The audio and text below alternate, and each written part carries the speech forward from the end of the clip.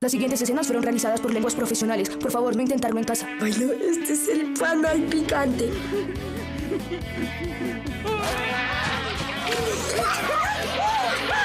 Lleva tu lengua hasta el límite. Nuevo Aterra Lenguas Hot Chili. Terror picante que gira en tu lengua.